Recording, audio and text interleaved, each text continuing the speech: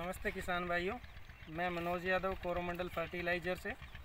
और आज अपने विजयनगर के एक फ़ील्ड में आए हैं, जहाँ पे मस्टर्ड और वीट और इससे पहले इन्होंने जो भी फ़सलें की, लगभग इनका तीन साल का एक्सपीरियंस है ग्रो प्लस का।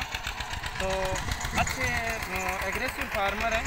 इनसे अपने डिस्कस करेंगे और आपको ये बताएँगे कि ग्रो प्लस इन्होंने ग्रो प्लस का अनुभव क्या पाया? और आप अपने चैनल कृषि व पशुदर्शन को लाइक कीजिए और नई नई वीडियो आगे से आगे जानने के लिए उस पर कमेंट भी कर सकते हैं। तो सर ये अपना ग्रो प्लस। आप इसके बारे में किसानों को कोई सुझाव दें और आपने जो अब यूज़ किया उसमें आपको क्या लगा अब तक और आप क्यों यूज़ कर रहे हैं? खासियत क्या थी इसकी जिसकी वजह से आप कंटिन्यू तीन साल से कोरोमंडल के साथ जुड़े हैं? सब। मेरा नाम सचिंद्र सारण है। गाँव मेरा बींस वाइला है। तहसील पदमपुर है। ज़िला श्री गंगानगर है। मोबाइल मेरा नंबर है चौरानवे छः सौ ग्यारह अड़सठ एक सौ पिचासी। और यहाँ जैत सर के अंदर मेरी ज़मीन चक एक जे की हमें पड़ती है। हम्म। और तहसील यहाँ विजयनगर लगती है। उप तहसील जैत सर। एक तो इसका रेट कम है। बिल्कुल सही।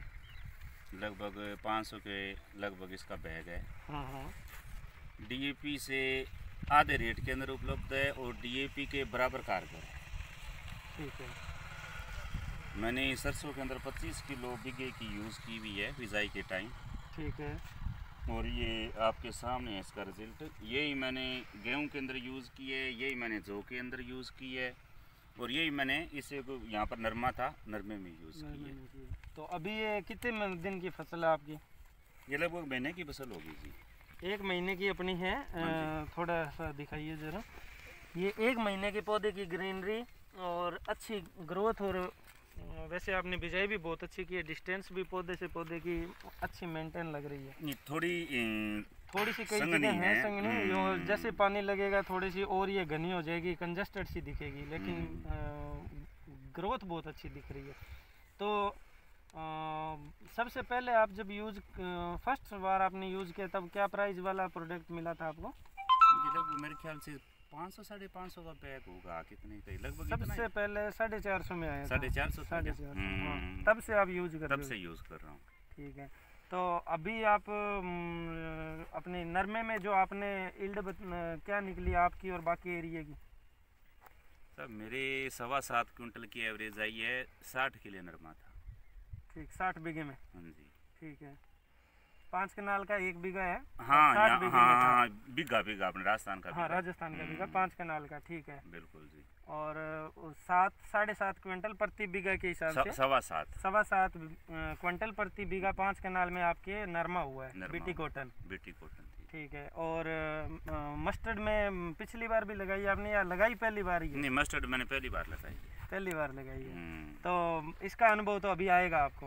आज तक आप इसमें सिर्फ़ बीट ही कर रहे थे मैन। जो और गेहूँ। अच्छा दोनों कर रहे थे? दोनों। ठीक है तो उसमें क्या लोगों के और आपके में क्या डिफरेंस लगा आपको? अब एक तो एक गट्टा बीघे की डीएपी डाल के उतनी उपज निकालनी उतने में ही एक गट्टा बैग ग्रो प्लस के अंदर आ रही है। ठीक है ज़मीन ज़मीन को ज़मीन के अंदर नुकसान कम हो रहा है। और ट्यूबवेल के पानी भी अपने लगभग यूज़ होते ही यूज़ हो। ही रहे हैं। हम्म, लगभग यूज़ तो हो रही उसका पीएच भी मेंटेन रख रही है और ज़मीन को थोड़ा नरम भी रखती है भुरभुरी रखती है। बिल्कुल बिल्कुल।